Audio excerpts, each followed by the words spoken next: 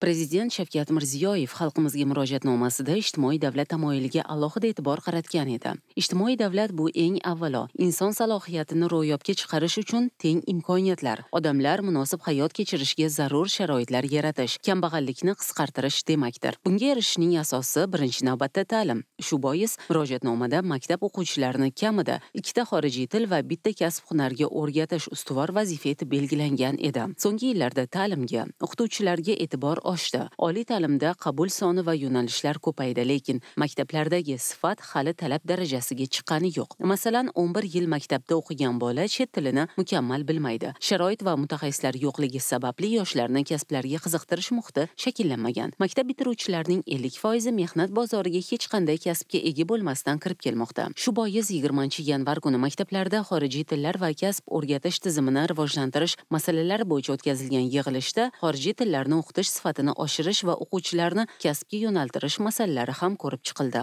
Maktabdan kasb va tilni bilib chiqqan bola jamiyatimizning katta yutug'i. Bilmagani muammo deydi shavkat mirziyoyev. Bu tajribani joriy etish uchun har bir viloyatdan bittadan shahar va ikkitadan tuman tanlab olingan. Ulardagi ikki mingdan ortiq maktablarning sharoiti pedagoglar malakasi. O'quvchilarning kasb hunar va xorijiy tillarga qiziqishi o'rganilgan. Endi tuman va mahallalarning xususiyatidan kelib chiqib o'quvchilar maktabning o'zida oltmish to'rt xil ishchi kasblarga o'rgatilishi ko'zda tutilmoqda. Shu bois hokimliklarga ushbu tanlab olingan maktablarda kasb hunar ustaxonalari tashkil etish ularni jihozlash va zarur ashyolar bilan ta'minlash vazifasi qo'yildi. Bunga yoshlar yetakchilari va tadbirkorlar ham jalb etiladi. Yoshlar jamg'armasidan mablag'lar yo'naltiriladi. Shuningdek o'quvchilarni axborot texnologiyalari va kreativ industriya bo'yicha zamonaviy kasblarga o'rgatish muhimligi ta'kidlandi. Chet tillarini sifatli o'rgatish uchun maktablarga til egasi bo'lgan pedagoglar jalb qilish prezident maktablarning til o'rgatish tajribasi darslik va dasturlarni tatbiq etish bo'yicha ko'rsatmalar berildi. Yig'ilishda viloyat hokimlari tanlangan maktablar misolida xorijiy tillar va kasb o'rgatishni rivojlantirishga oid rejalar yuzasidan axborot berdi. Shuningdek prezident tarmoq va hududlar rahbarlariga qish mavsumida aholini